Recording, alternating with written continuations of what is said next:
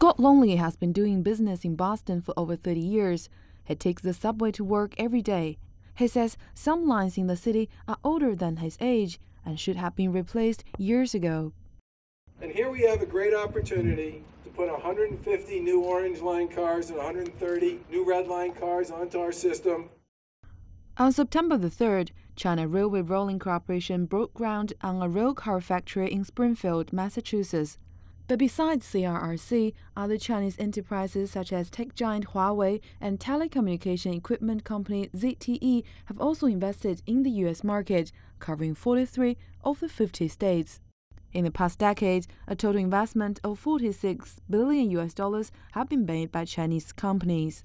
Well, I think to some extent it's a natural evolution. It's the increasing maturity of a number of, of Chinese firms that have been very successful in their domestic market, and so then if they want to expand further, they need to expand internationally. Uh, a second factor, of course, is that the government in China has liberalized somewhat on capital controls. China Railway Rolling Corporation products have been exported to about 100 countries and regions. The enterprise had been gradually transforming its operational structure away from just merchandising to now exporting technology and capital, as well as expanding its global operations.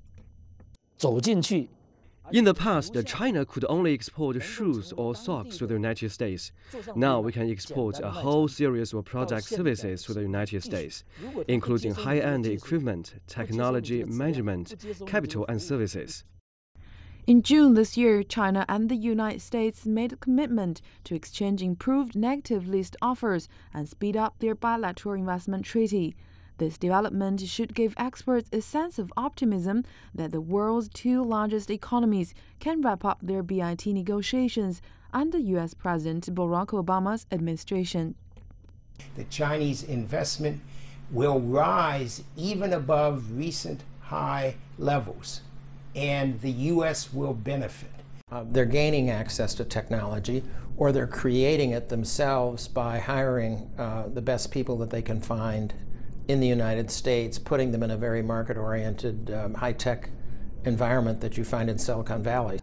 Just like Scott, there are millions of commuters in the U.S. who take the subway every day. He says it should be less about where the products are being made and more about their quality whether they are from China, the US, or anywhere else, is about fulfilling the everyday needs of ordinary Americans.